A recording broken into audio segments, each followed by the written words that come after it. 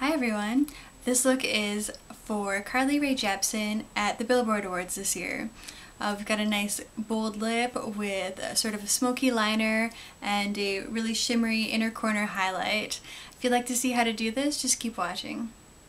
So I'm using this eye primer from NYC, my Individualeyes palette. And the reason why I chose this one is because it lightens my eyelid.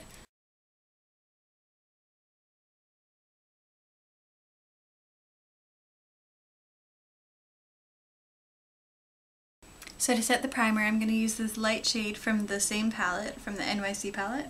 I'm going to use a large brush, something like this, fluffy shader brush.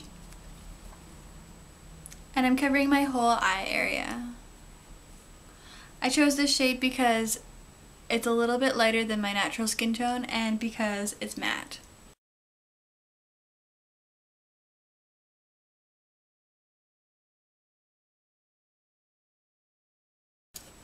So it looks like she has something kind of goldy um, covering most of her lid. I'm going to do this area here with this shade from my Stila palette. Um, it's kind of hard to tell what color this is, but I think it's going to work out. I think it's like a gold color. It seems to be a bit of a duochrome, kind of pinky, pinky gold. Um, choose whatever you like. I think she used something kind of goldy. I'm using a fluffy angled shading brush for this.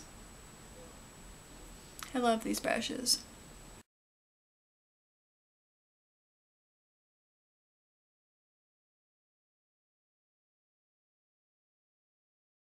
For our dark liner, I'm going to use this one from my Stila palette. It's just a matte black. And I'm using my wider angle brush. So I'm going to do two-thirds of the way on the top lash line and halfway on the lower lash line.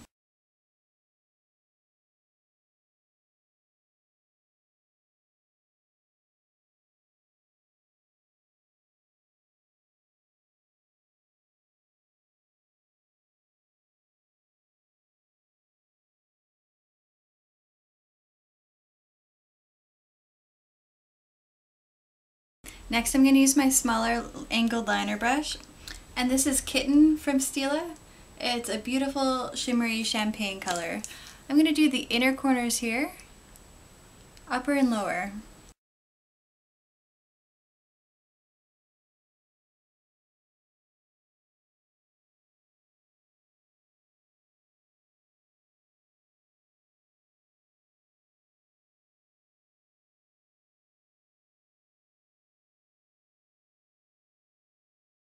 So I'm going to use a flat shader brush like this one here and I'm just going to blend it out a bit so it's a little softer and smoother looking and I'm going to blend the two together at their little transition spots where they meet.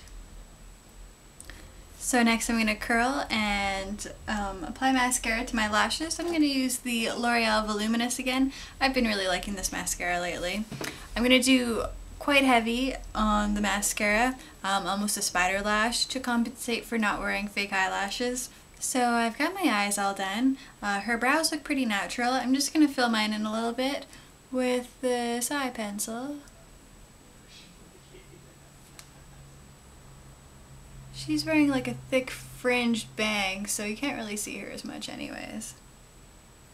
One more thing she has going on in the eye department is a corrector pencil on the lower waterline.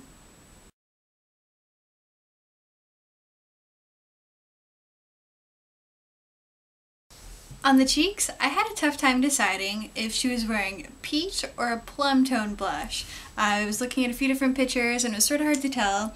So I have my peachy one here, my plummy one here. I'm to pick this middle guy. I think it's a good choice. Um, as per usual with blushes, pick what's best for you. I'm using an angled blush brush and I'm just going to do a regular type blushing here. Nothing unusual.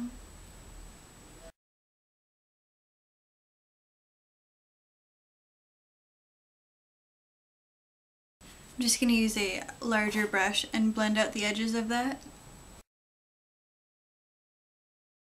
Lips. She's wearing a, a really nice lip color, sort of a purpley uh, a plummy cranberry red. It's sort of hard to describe. I'm going to line mine with my usual lip liner, the pink brown from Body Shop.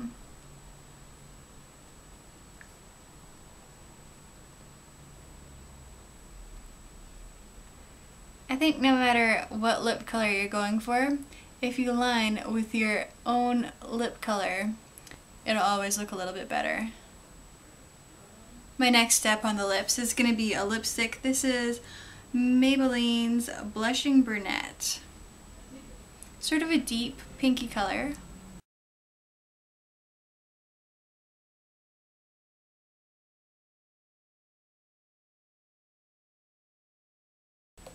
To make the lips a little more red, I'm going to use this color from my um, Rimmel Urban Seductress palette. It's a nice dark red and it has some gold shimmer to it, which I think works pretty well for this look.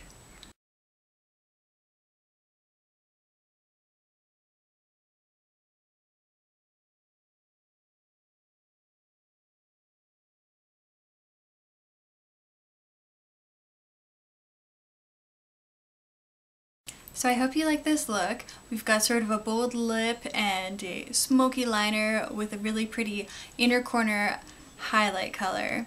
And uh, let me know if you have any questions. If you'd like to see more looks like this or any requests at all, just let me know. Thanks so much for watching and have a great day.